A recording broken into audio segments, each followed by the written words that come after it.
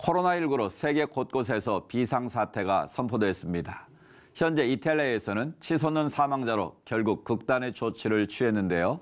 이탈리아 로마 한인연합교회 홍기성 목사 연결해서 현지 상황 들어봅니다. 목사님, 아, 우리나라만큼 이탈리아도 코로나19로 많은 어려움을 겪고 있는 것으로 압니다. 현재 상황 어떻습니까? 네, 이탈리아는 한국보다는 좀 늦게 시작되었는데요. 그런데 하루가 다르게 확진자와 사망자가 가파르게 늘어가고 있습니다. 2주 전만 해도 북부 밀라노, 베르가모 등을 중심으로 소수의 확진자로 시작되었는데 이제는 최남단 시칠리아까지 이탈리아 전역이 위험 지역으로 구분되는 레드존으로 되었습니다. 뿐만 아니라 사망률도 매우 높아 세계 평균보다 두 배가 넘는 6.6%에 이르릅니다. 이에 따라 정부에서도 긴급 총리령으로 하루마다 강력한 긴급 시행령을 발표하고 있습니다.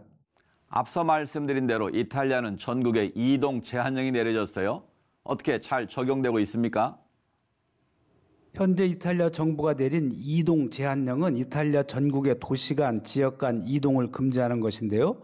무엇보다도 확진자가 매우 빠르게 북부 지역을 넘어 남쪽으로 이동하는 것으로 보고 이를 막고자 하는 데서 나온 지침입니다. 만약 부득이 업무나 건강의 이유로 다른 도시, 다른 지역으로 이동해야 할 경우 사유를 적은 양식의 증명서를 가지고 다니다 경찰의 검문에 응하고 허락이 되면 이동을 할 수 있습니다. 만약에 이동 증명서를 소지하지 않았거나 신문에 불응할 경우 3개월의 징역에 처할 수 있고 203유로의 벌금을 물어야 합니다. 100%는 아니겠지만 대부분은 정부의 이런 지침에 대해 불평하거나 비난하지 않고 그대로 총리 긴급 시행령을 차분히 지키고 있습니다. 어, 이동이 금지된 가운데 예배를 드리는 것이 더 어려우실 것 같아 보이는데요. 현재 한인교회 이 위기를 어떻게 대처하고 있는지요? 모든 집회 모임이 금지된 것에는 모든 종교 활동도 포함되어 있습니다. 베드로 성당과 바티칸도 모든 미사 집회 기도회를 중지했습니다. 이탈리아 전역의 모든 개신교도 마찬가지로 주일날을 비롯해 모여서 드리는 예배나 성경 공부, 선교 봉사 활동 등이 일체 중지되었습니다. 한인 교회들도 마찬가지입니다. 밀라노, 로마 등의 한인 교회들은 정부의 이런 방침에 따라 주일 예배를 온라인 가정 예배로 대체하고 있습니다. 이러한 온라인 예배나 가정 예배는 4월 3일까지 계속됩니다. 교회마다 방법이 다르긴 할 텐데 유튜브 실시간 스트리밍으로 예배를 드리는 것도 있고 밴드나 카카오톡을 이용하는 교회도 있고 각자 자유롭게 가정 예배로 대체하여 드리는 교회들도 있습니다. 이런 상황일수록 교회가 더욱 하나 돼서 기도로 힘써야 할 텐데 신앙인으로서 어떤 마음으로 이 위기를 극복해 나가야 할지 말씀해 주시면 좋겠습니다.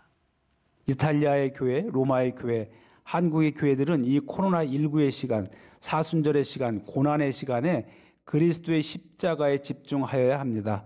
그리스도 십자가의 고난은 우리들 자신의 구원과 생명을 위한 것이며 동시에 이 사회와 인류를 위한 구원과 생명을 위한 고난입니다. 우리는 이 코로나19의 고난이 어디서 왔는지 말하기 어렵습니다. 그러나 이 현실을 위해서 함께 기도해야만 합니다. 이 코로나19의 시간, 고난의 시간, 사순절의 시간에 집안에 있는 자신의 방을 기도의 골방으로 만들어 자신을 위하여 가족을 위하여 머무를 집도 없는 우리의 이웃들을 위하여 인류의 구원과 생명을 위하여 말씀을 보고 기도해야 합니다. 그리고 이 고난의 시간, 그러나 십자가 바라봄의 시간을 넘어 마침내 부활의 시간에 이르게 되고 그리고 마침내 코로나19의 죽음을 이기고 새로운 생명과 소망의 시간이 올 것을 믿습니다. 네, 로마 한인연합교회 홍기성 목사와 이야기 나눴습니다. 이번에는